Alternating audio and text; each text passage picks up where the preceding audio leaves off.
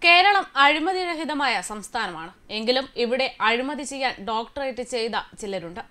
എല്ലാ കാലത്തും അവർക്ക് രക്ഷ നേടാൻ സാധിക്കില്ല. ഇത് മുഖ്യമന്ത്രി പിണറായി വിജയന്റെ വാക്കുകളാണ്. കഴിഞ്ഞ ദിവസം പാലക്കാട് സംസ്ഥാനത്തെ ഏറ്റവും വലിയ കൈക്കൂലി കണ്ടെത്തിയ കേസിൽ പിടിയിലായ വില്ലേജ് അസിസ്റ്റന്റ് സുരേഷ് കുമാറിന്റെ പേരിലുള്ള കേസിലാണ് മുഖ്യമന്ത്രി പിണറായി വിജയന്റെ ഇത്തരത്തിലൊരു പ്രതികരണം ഇപ്പോൾ ചർച്ചയാകുന്നത്. അഴിമതിക്കാരെ സംരക്ഷിക്കില്ലെന്ന നിലപാടാണ് സർക്കാരിനുള്ളത്. ജനപക്ഷത്തായിരിക്കണം സർക്കാർ ജീവനക്കാരെന്നും മുഖ്യമന്ത്രി പറയുകയാണ് Kerala municipal corporation staff union സംസ്ഥാന സമ്മേളനം ഉദ്ഘാടനം ചെയ്യവെയാണ് മുഖ്യമന്ത്രി ഇത്തരത്തിലൊരു പ്രസ്താവന നടത്തിയിരിക്കുന്നത്. ഇതിലെ ഏറ്റവും വലിയ നർമ്മം എന്തെന്നാൽ അഴിമതി കുലപതിയാണ് അഴിമതിക്കെതിരെ ഇപ്പോൾ പൊരുതുമെന്ന് പറഞ്ഞതെന്നതാണ്. ജനങ്ങൾക്ക് സേവനം കൃത്യമായി ലഭിക്കണമെന്നും ജനങ്ങൾ ഏറ്റവും കൂടുതൽ പ്രശ്നം നേരിടുന്നത് രണ്ടിടങ്ങളിലാണ് എന്നാണ് പിണറായി വിജയൻ പറയുന്നത്. ആ രണ്ടിടങ്ങൾ വില്ലേജ് ഓഫീസും തദ്ദേശ സ്ഥാപനങ്ങളുമാണ്.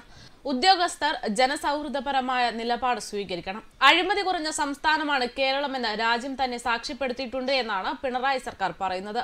ജനങ്ങൾക്ക് കിട്ടുന്ന സേവനങ്ങളുടെ വേഗത ഈ സർക്കാർ കൂട്ടി എത്ര എത്ര കാലമായാലും ഫയൽ കെട്ടിക്കിടക്കുന്ന അവസ്ഥയുണ്ടായിരുന്നു. ഇതിന് ഫയൽ തീർക്കൽ യജ്ഞം നടത്തി എന്നാണ് പിണറായി വിജയൻ പറയുന്നത്. എന്നാൽ ചിലയിടങ്ങളിൽ ഇതിന് വേണ്ടത്ര പ്രാബല്യം വന്നിട്ടില്ല.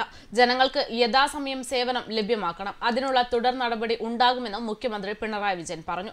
കഴിഞ്ഞ ദിവസമായിരുന്നു പാലക്കാട് വില്ലേജ് ഓഫീസറെ വിജിലൻസ് അറസ്റ്റ് ചെയ്തത്. സംഭവത്തെ തുടർന്ന് വില്ലേജ് അസിസ്റ്റന്റായ സുരേഷ് കുമാറിനെ സർവീസിൽ നിന്നും സസ്പെൻഡ് ചെയ്യുകയും ചെയ്തിരുന്നു. സുരേഷ് കുമാറിന്റെ പ്രവൃത്തി ഗുരുതര കൃത്യവിലോപമാണെന്ന് സസ്പെൻഡ് ചെയ്തിട്ടുള്ള ഉത്തരവിൽ പറയുന്നുണ്ട്. സസ്പെൻഷൻ കഴിഞ്ഞ ദിവസം മുതൽ പ്രാബല്യത്തിൽ വരുമെന്നും ഓർഡറിൽ വ്യക്തമാക്കി. ലൊക്കേഷൻ സ്കെച്ച് നടത്തുന്നതിനായി രണ്ടായിരത്തി അഞ്ഞൂറ് രൂപ കൈക്കൂലി വാങ്ങിയതിനെ തുടർന്ന് കല്ലടി കോളേജ് ഗ്രൗണ്ടിന് സമീപം മെയ് ഇരുപത്തിമൂന്നിനാണ് പോലീസും വിജിലൻസും ചേർന്ന് ഇയാളെ പിടികൂടുന്നത്.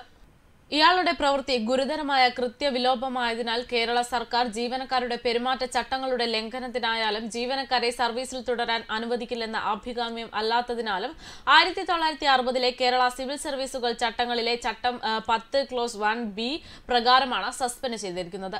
പാലക്കഴത്ത് കൈക്കൂലി കേസിൽ അറസ്റ്റിലായ വില്ലേജ് അസിസ്റ്റന്റ് സുരേഷ് കുമാറിന്റെ താമസ സ്ഥലത്ത് പരിശോധന നടത്തി വില്ലേജ് അസിസ്റ്റന്റിന്റെ വിജിലൻസ് സംഘത്തിന് ഞെട്ടിക്കുന്ന വിവരങ്ങളാണ് ലഭിച്ചിരിക്കുന്നത്. ഇവിടെ നിന്നും കൈക്കൂലിയായി ലഭിച്ച പണമടക്കമുള്ളവ വിജിലൻസ് കണ്ടെടുത്തിട്ടുണ്ട്. പാലക്കഴം വില്ലേജ് ഓഫീസിലും മണ്ണാർക്കാട് ലോഡ്ജ് മുറിയിലും മണ്ണാർക്കാട് തഹസിൽദാറുടെ നേതൃത്വത്തിൽ നടത്തിയ പരിശോധനയിലുമാണ് പണത്തിന് പുറമെ നിരവധി കവർ പൊട്ടിക്കാത്ത പത്ത് പുതിയ ഷർട്ടുകളും മുണ്ടുകളും കുടംപുളി ചാക്കിലാക്കിയതും പത്ത് ലിറ്റർ തേനും പടക്കങ്ങൾ ഉൾപ്പെടെ കെട്ടുകണക്കിന് പേനകളെല്ലാം കണ്ടെത്തിയത്. സുരേഷ് കുമാറിന്റെ മുറിയിൽ നിന്ന് കണ്ടെത്തിയ നാണയ നാണയത്തൊട്ടുകൾക്ക് മാത്രം തൊണ്ണൂറായിരം രൂപ വരും എന്നാണ് റിപ്പോർട്ട്. മുറിയിൽ നിന്ന് ആകെ മുപ്പത്തിയഞ്ച് ലക്ഷത്തി എഴുപതിനായിരം രൂപയാണ് കണ്ടെടുത്തത്. വെറും മൂന്ന് വർഷം മുമ്പാണ് സുരേഷ് കുമാർ പാലക്കാഴത്ത് സർവീസിലെത്തിയത്. സുരേഷ് കുമാർ കൈക്കൂലി കണക്ക് പറഞ്ഞു വാങ്ങുന്നു എന്നാണ് റിപ്പോർട്ടുകൾ. പണം കൊടുത്തില്ലെങ്കിൽ മാസങ്ങളോളം വ്യക്തികളെ നടത്തിക്കുമെന്നും റിപ്പോർട്ടുണ്ട്. പലരിൽ നിന്നും കൈപ്പറ്റിയത് അഞ്ഞൂറ് മുതൽ പതിനയ്യായിരം രൂപ വരെയാണ് എന്നതാണ് കണക്ക്. പണം അല്ലെങ്കിൽ മറ്റേതെങ്കിലും തരത്തിലുള്ള സാധനങ്ങളും ഇയാൾ സ്വീകരിക്കുമെന്നും പറയുന്നുണ്ട്. ഇയാളുടെ ശല്യം സഹിക്കവയ്യാതെ നാട്ടുകാർ വില്ലേജ് ഓഫീസിന് മുന്നിൽ പ്രതിഷേധ സമരം നടത്തുകയിരിക്കുകയാണ് ഒടുവിൽ കൈക്കൂലി കേസിൽ സുരേഷ് അറസ്റ്റിലായതോടെ നിരവധി പേരാണ് ആരോപണവുമായി രംഗത്തെത്തിയത്. അതേസമയം സുരേഷ് കുമാറിനെ തൃശൂർ വിജിലൻസ് കോടതിയിൽ ജൂൺ ആറിന് റിമാൻഡ് ചെയ്തിട്ടുണ്ട്. ഇയാളെ തൃശൂർ ജില്ലാ ജയിലിലേക്ക് മാറ്റിയിരിക്കുകയാണ്. എന്തായാലും ഇത്തരത്തിൽ ഓരോ അഴിമതിക്കെതിരെയും സംസാരിക്കാൻ ഇപ്പോൾ രംഗത്തെത്തിയിരിക്കുന്നത് പിണറായി വിജയനാണ്. മുഖ്യമന്ത്രി നടത്തുന്ന അഴിമതി കണക്കുകളൊന്നും ആരും കാണുന്നില്ല എന്ന മട്ടിലാണ് സധൈര്യത്തോടെ അഴിമതി കേരളത്തിൽ വച്ച് പുലർപ്പിക്കില്ലെന്ന് പിണറായി വിജയൻ പറയുന്നത് എന്നതാണ് ഇതിവിടെ ശ്രദ്ധേയമാകാനുള്ള സുപ്രധാന കാരണം. ന്യൂസ് ഡെസ്ക് കർമ്മ ന്യൂസ്